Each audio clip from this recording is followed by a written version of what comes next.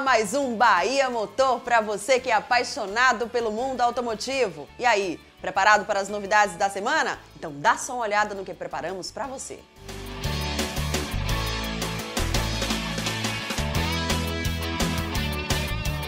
O Bahia Motor mostra o processo de fabricação de capacetes. Ford mostra a linha 2018 do New Fiesta. Vamos reforçar a importância do cinto de segurança. Célio Galvão fala com exclusividade sobre sua saída da Ford. Compra e troca no bazar da Harley Davidson. Mitsubishi Motorsport termina com emoção. Uma bonita festa vai marcar o encerramento de velocidade na Terra. Tudo isso você confere agora no Bahia Motor.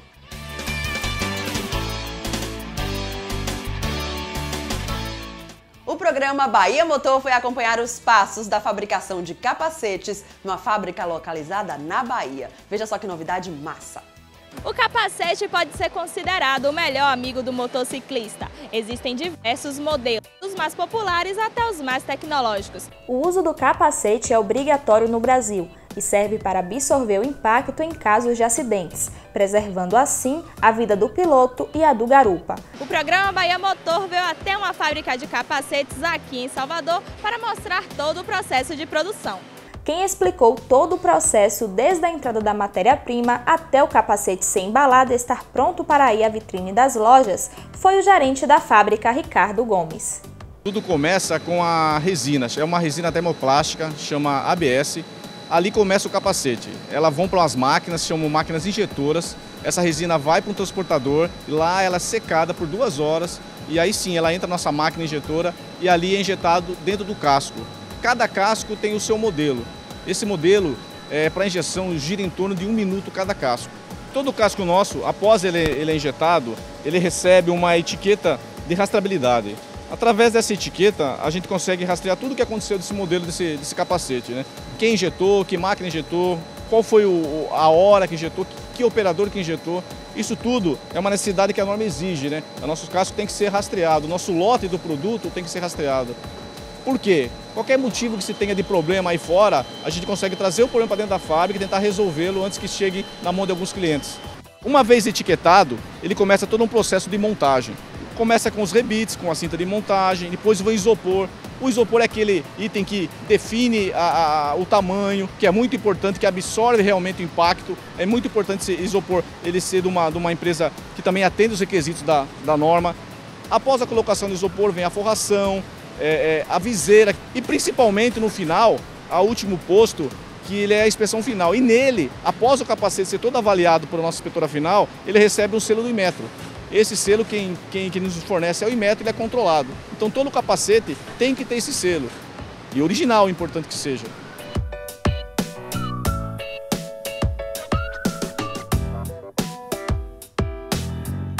Uma vez que se definiu a cor que, que o capacete, que o casco seja pintado, daquela cor bege, nós pintamos inúmeras cores. Essa aqui específica é vermelha, né?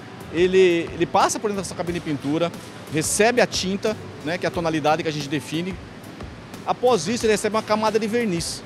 Tá? Esse verniz, é, ele tem um, um, tratamento que ele passa por um sistema chamado UV, ultravioleta, que ele tem uma cura imediata. Então, após ele passar pelo processo de pintura e UV, você já pode manipular na linha de montagem. Então, nós não temos um tempo de espera.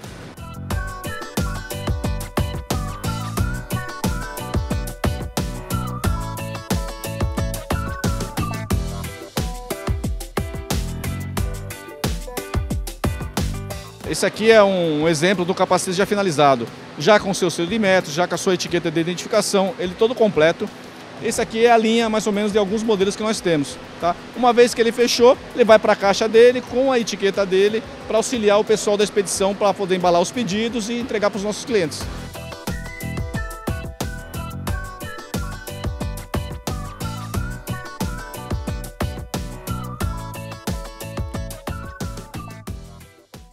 A Ford do Brasil apresentou a linha 2018 do New Fiesta. A montadora está apostando no crescimento deste importante segmento. Selma Moraes foi lá conferir.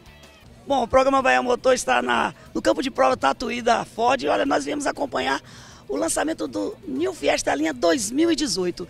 E eles fizeram uma pesquisa. Em primeiro lugar, consumidor disse: Eu quero estilo. Eu estou ao lado de Fernando Pfeiffer, gerente de produtos da Ford. E o New Fiesta chegou cheio de estilo, Fernando. Exatamente. O New Fiesta ele é um produto que é uma referência dentro do mercado de compactos premium. O grande atributo de compra que realmente atrai esses consumidores é o estilo arrojado e as linhas modernas do New Fiesta. E nessa geração 2018 a gente vai ainda além, a gente aprimora ainda mais esses elementos, trazendo ainda mais sofisticação para frente do carro. Então, como os nossos amigos explicaram durante as apresentações, quando você olha para frente do veículo, ele ficou ainda mais sofisticado com esses elementos de requinte, com os cromados, com linhas mais vigorosas, com cortes mais agressivos e realmente é para aquele consumidor que quer chegar em grande estilo em qualquer lugar por onde ele passa. Ele também traz muito mais recheio tecnológico. Essa geração agora tem Sync 3. Ele tem um sistema de multimídia de última geração que permite você interagir com o seu celular Apple ou Droid, espelhando funções do celular dentro do seu veículo. Vocês lançaram, vocês estão com três é, versões tá? E cada versão oferecendo um pacote extremamente atraente para o consumidor. Vamos dar uma pincelada em cada uma dessas versões. Vamos. O veículo vai trabalhar com uma espinha dorsal aí de três versões: a SE de entrada, a SL intermediária para quem busca mais conforto e conveniência e a Titânio, que é o veículo aí na sua melhor apresentação, na sua melhor roupagem, é o top, né? Então, para ambas as versões de entrada intermediária, a gente vai ter dois pacotes de opcional um pacote que privilegia a aparência, que é o pacote Style. O Style ele tem rodas 16 polegadas com uma pintura completamente diferenciada. Na frente, nos, nos, espelhos e no farol de neblina, ele recebe acabamentos de preto alto brilho. Então o veículo fica bastante arrojado, com uma pegada bem esportiva. Ou então o consumidor pode optar por um pacote de mais conforto e conveniência com a transmissão sequencial de 6 velocidades e o multimídia já na série de entrada. Lá em cima, na versão Top Titânio, você tem como pacote adicional uma versão Plus com mais tecnologia e mais segurança. Então, em termos de segurança, a Titânio vem realmente completa. A, a, a, versão Titanium é aquela que tem os sete airbags, um equipamento que nenhum outro competidor oferece até hoje, depois de tantos anos de estrada do New Fiesta, e traz todos aqueles equipamentos de vanguarda, como o acendimento automático dos faróis, o sensor de chuva, o espelho retrovisor eletrocrômico, ele tem acionamento do motor através do botão é, é, de partida, então é o carro na sua melhor roupagem, é o topo de linha. Beleza, Fernando, para a gente encerrar, 19% de New Fiesta é vendido na Bahia. E esse é um número muito interessante, mas poderia ser melhor. O que é que está faltando aí para pimentar um pouquinho essa, esse número que vocês divulgaram? Exatamente, 19% é um número muito expressivo, mas a gente quer ir adiante. Bahia realmente representa um, um, mercado muito significativo, de muita relevância para a Ford, muito mesmo pela associação que a gente tem com a região, o fato da gente ter uma operação e um relacionamento muito próximo com o Estado. Então a gente vê muitas oportunidades para esse produto se complementando junto com o K. Vamos lembrar que o K e o Festa formam a dupla campeã da Ford, sobretudo na Bahia. Realmente o K fez segunda posição na indústria total do Brasil no último mês e a Bahia realmente é um dos estados que mais contribui e a gente precisa realmente estar cada vez mais próximo do consumidor soteropolitano, consumidor baiano, que tanto prestigia a nossa marca. Pelos números que a Ford apresentou aqui nesse lançamento da nova linha 2018 do New Fiesta, a Bahia está em terceiro lugar em vendas no Brasil, tanto de New Fiesta quanto do K.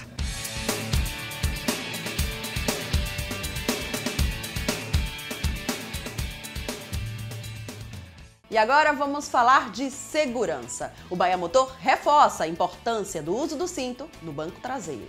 50,2% dos brasileiros não utilizam o cinto de segurança no banco de trás do veículo. Para saber mais sobre esse assunto, o Bahia Motor vai até a Trans Salvador. E se você quiser pegar carona com a gente, põe o cinto de segurança, viu?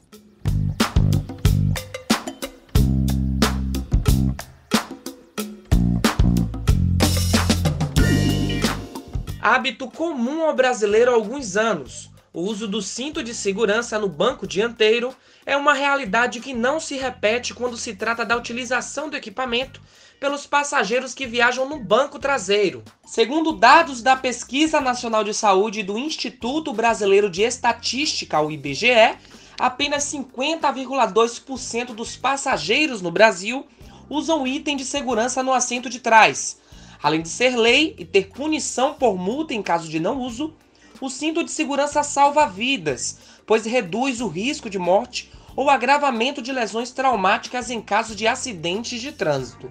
De acordo com o gerente de trânsito da Transalvador, Antônio Neri, a não utilização do cinto de segurança no banco de trás coloca em risco também o condutor e o passageiro da frente. Em caso de colisão, é, o cinto de segurança no banco traseiro tem a função de é, evitar que os passageiros sejam projetados para fora do veículo e também de evitar que ele seja projetado contra o motorista ou contra o carona que estão no banco da frente. É, certamente, com o cinto de segurança, é, estatísticas nos mostram que, é, inclusive pesquisas da Abramet, que cerca de, é, reduz, o uso do cinto reduz em cerca de 45% o número de mortes é, em casos de passageiros e motorista e, e cerca de 75% nos passageiros do banco traseiro. Já no caso do uso de cinto de segurança para crianças de 0 a 7 anos, é necessário o uso da cadeira de assento. Existem os equipamentos disponíveis aí no mercado para que as pessoas possam transportar com segurança seu, seu, suas crianças, seus entes queridos. Então, até um ano de idade, a criança tem que ser transportada no bebê conforto. De 1 a 4 anos, na cadeirinha. E de 4 a 7 anos, ou aí ao peso de 35, 40 quilos, é, um assento de elevação. E todos esses equipamentos são presos a um cinto de segurança. O gerente de trânsito ainda comenta que durante as fiscalizações de trânsito, os fiscais são orientados a aplicar a infração, conscientizar o condutor e passageiros, solicitando que coloquem os cintos.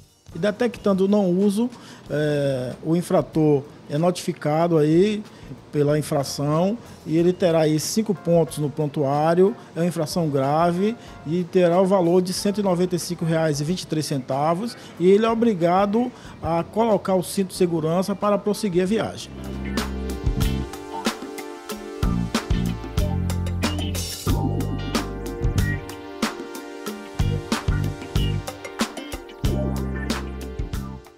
Depois de 40 anos de atividades na Ford do Brasil, o diretor de comunicação Célio Galvão pendura chuteiras e deixa a montadora. Ele falou com exclusividade ao programa Bahia Motor sobre esse momento.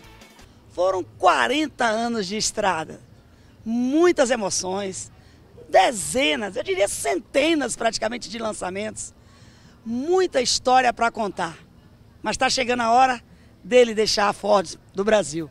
Eu estou falando do diretor de comunicação, Célio Galvão. Célio, que caminho, que jornada, quanta história para contar ao longo desses 40 anos. Verdade, Selma. E falando aqui com a Bahia, é uma, é uma, é uma emoção ainda maior, porque é, eu vim com essa fábrica da Ford aqui em Camaçari, né? E sempre trabalhando na assessoria de comunicação, sempre tendo passagens. Claro que na minha carreira houve assim é, nuances, porque eu comecei com Corcel 2, né, depois teve o Corcel Abelina 2, Del Rey, muitas crianças nem sabem o que se trata isso, aí depois o Escort e assim por diante. Alguma coisa marcou muito você ao longo desses 40 anos? Claro, muita coisa, mas o que, que você destacaria aqui para a Bahia? Olha, sem dúvida teve vários momentos. Um dos momentos na década de 80 foi o lançamento do Escort, né? Ele era considerado realmente o primeiro carro mundial que fazia uma plataforma em vários lugares e veio e veio para o Brasil. E, e, e, o astro desse lançamento, sempre a gente escolhe alguma pessoa, era o Ayrton Senna, né? Foi o Ayrton Senna. Tem fotos até hoje com a Escort XRTs, que depois evoluiu para conversível. Esse foi um momento muito marcante, né? Também na minha carreira, um momento marcante foi dentro da Auto Latina, né? Foi o relançamento do Fusca no Brasil, né? Porque foi o conceito do, do presidente Tamar Franco de lançar os carros popular 1.0 e uma coisa inesperada, que era o lançamento do Fusca, que já tinha saído da linha, e eu tive uma participação muito ativa dentro da Auto Latina, que eu era do grupo que compunha tanto a Ford quanto a Volkswagen. Teve também outros produtos que eu acho que foi marcante, né? Que foi tanto o Fiesta que temos aqui, o primeiro Fiesta, o Foco, Mas sem dúvida um, uma, um produto marcante mesmo foi o EcoSport, né? Porque o EcoSport ele inaugurou um segmento. Naquela época esses utilitários esportivos era só caro, grandes, importados e veio um compacto, um utilitário esportivo compacto, mais acessível para a maioria das pessoas e que foi feito na Bahia, né? E que foi feito em Camaçari, quer dizer, inaugurando a fábrica de Camaçari pela primeira vez uma indústria automobilística acreditava no Nordeste brasileiro. Eu acompanhei desde a até o lançamento da fábrica, que hoje é um, é um sucesso com e é mais é uma referência para o mundo, né? Sim, com mais de 300 mil carros produzidos, ou com capacidade de produção, três turnos mesmo com essa crise toda. E uma, foi uma satisfação muito grande. Agora, no limiar da minha carreira, nos últimos dias aqui, eu começo o lançamento do Mustang, que é outro ícone que levou 50 anos, quase a minha carreira no, no na Ford para chegar no Brasil. Chega. Eu vou dar o pontapé inicial e depois vou me dedicar a projetos pessoais. Mas antes de você virar a chave, vamos falar um pouco sobre quanto essa quantidade enorme de jornalistas que passaram sob o seu comando, que trabalharam ao seu lado e que hoje bateram asas também e têm vida própria. E você deixa muita gente, você fez uma escola aqui dentro da Ford. É verdade, eu também sou fruto de uma escola que o Luiz Carlos Seco, né, que foi o, é o, o grande, que foi o grande mestre do, do jornalismo empresarial, automotivo, né, que me ensinou basicamente tudo que eu sei hoje. E eu me orgulho de ter seguido a, a, a, escola dele. Na realidade, eu comecei na Ford numa, numa, numa condição muito especial muito especial, que está muito ligada a você. Eu comecei na Ford como cobertura de automóveis, uh, na, de corrida de automóveis, na Fórmula Ford. 40 anos não são 40 dias. Você plantou muita semente e você tem muito que colher ainda. Muito obrigado, obrigado por essa oportunidade aqui. Eu quero dizer que eu estou saindo por iniciativa própria, eu estou querendo, estou saindo por chegou a hora mesmo é, e também ainda aproveitar um pouco aí que eu tenho aí de energia para ver se profissionalmente eu consiga fazer outra coisa ou pelo menos aproveitar a vida, né? Beleza.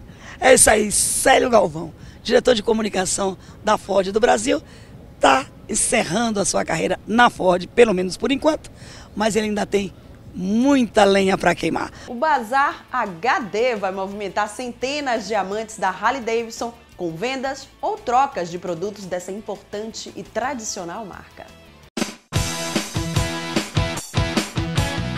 No próximo dia 16, um grupo de motociclistas amantes da Harley Davidson vai realizar um Bazar HD, o terceiro do ano, que promete ser ainda mais emocionante que os dois primeiros. Esse é um evento de confraternização de final de ano, onde estarão reunidos os motociclistas amantes da Harley Davidson e que aproveitam a oportunidade para realizar um grande bazar, com compra, venda e troca de peças, acessórios, motos e muitas outras opções. Segundo os dados, são mais de 800 motociclistas em todo o estado da Bahia, donos de máquinas da Harley Davidson, a moto dos sonhos de muitos. Os proprietários de motos Harley Davidson normalmente são grandes formadores de opinião e consumidores de produtos de marca premium, todos apaixonados pelas motos e por personalizar a maioria delas. A ideia do Bazar HD é que os harleiros possam negociar peças, acessórios, roupas, capacetes e muitos outros itens num grande bazar. O encontro acontece no dia 16 deste mês, das 9 às 4 horas da tarde, no empresarial João Fonseca, na Orlando Gomes. O Bahia Motor vai lá conferir.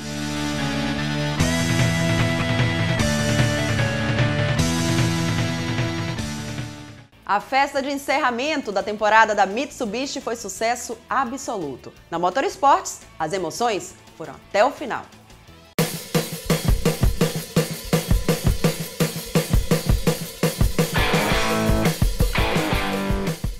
Para fechar com chave de ouro um ano repleto de aventuras off-road, as duplas do Mitsubishi Motorsports e as equipes do Mitsubishi Outdoor se reuniram no Autódromo Velocitar para a Super Final Mafre, que marcou o fim da temporada 2017 das competições da marca dos Três Diamantes. O dia foi agitado e repleto de atividades com cinco eventos acontecendo simultaneamente, Além dos dois ralis, o autódromo também recebeu a final do Mitsubishi Cup, o rally cross country de velocidade mais tradicional do país, além do Fun Day, uma prova de regularidade na pista, e o Lancer Day, um track day para proprietários do Lancer Evolution.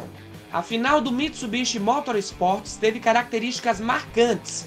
Enquanto a categoria Turismo Light foi em direção a Itapira, em um divertido trajeto de 120 km, as categorias Master, Graduados e Turismo percorreram 180, com piso muito liso e passando por mata nativa no entorno do autódromo. Quem se destacou nesse cenário foram duas duplas femininas. Na categoria Turismo, Sandra Dias e Minai Miauti foram as grandes vencedoras do dia. Para elas, o nível técnico do campeonato aumentou conforme as etapas foram passando, e agora existe cada vez mais duplas femininas conseguindo boas colocações. Outra dupla feminina que subiu no lugar mais alto do pódio foi a piloto Paula Breves e a navegadora Vilma Rafael, da categoria Graduados. Essa foi uma etapa de superação. Durante toda a trilha, elas tiveram que manter a concentração para alcançar o pódio. Já na Master, quem levou a melhor foi a dupla Renato Martins e Enedir Júnior, de Belo Horizonte. Eles conseguiram a vitória na abertura da temporada e outra agora, no encerramento. Na Turismo Light, reservada para quem está começando, Rafael Abreu e Eber Oliveira destacaram a sensação de liberdade a bordo de um Pajero TR4, conseguindo a primeira colocação. Em um ano muito disputado, a definição do campeonato ficou para essa última etapa. Na categoria Master, Paulo Góes e Jonathan Ardigo terminaram a competição em primeiro lugar. A dupla já havia conquistado o título da temporada do Nordeste. Já na graduados, o piloto Glauber Fontoura foi o campeão entre os pilotos, enquanto Alexandro da Silva ficou em primeiro lugar entre os navegadores. Entre os competidores da Turismo, o piloto Igor Carvalho e o navegador Gilberto Júnior foram os campeões da temporada.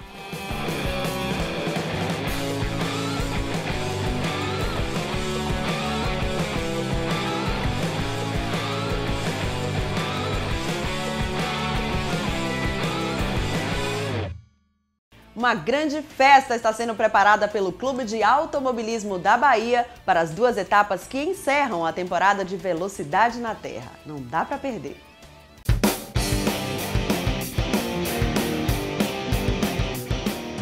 Para coroar o sucesso da temporada deste ano de Velocidade na Terra, o Clube de Automobilismo da Bahia está programando uma série de atividades visando as disputas das duas últimas etapas de 2017. Programadas para o dia 17 de dezembro, as duas etapas finais da temporada vão valer pelas disputas dos dois últimos títulos, que ainda não estão em jogo nas categorias Turismo e Speed. Na categoria Kart Cross, o título já está nas mãos do piloto Romero Sampaio, desde a última etapa. Dos títulos em jogo, o mais encaminhado é o do piloto Reinaldo Lucas, na categoria Speed, nas últimas provas, ele não tem facilitado a vida dos seus adversários e dificilmente deixará escapar a chance de mais um título. Já na categoria Turismo, a disputa está mais acirrada, especialmente entre os pilotos Hamilton Santos e José Nicolau, que venceu as duas últimas etapas e colocou lenha na fogueira da competição. Mas, fora das pistas, muitas festividades para o público que comparecer ao circuito Lelo Bala, em São Francisco do Conde. Haverá uma completa praça de alimentação com área infantil, muita música, estacionamento e segurança. O Campeonato Baiano de Velocidade na Terra tem um patrocínio da Petro Bahia, Governo do Estado da Bahia através da CETRE Faz Atleta e da Prefeitura de São Francisco do Conde. A competição tem supervisão da Federação de Automobilismo da Bahia, Confederação Brasileira de Automobilismo e a realização do Clube de Automobilismo da Bahia. Coloque na sua programação e vá vibrar com os pilotos de velocidade na Terra. É de graça.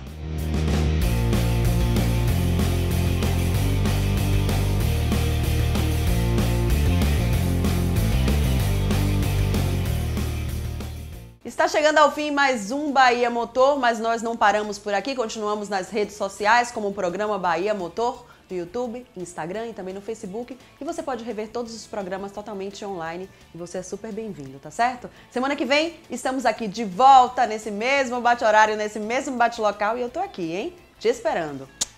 Tchauzinho.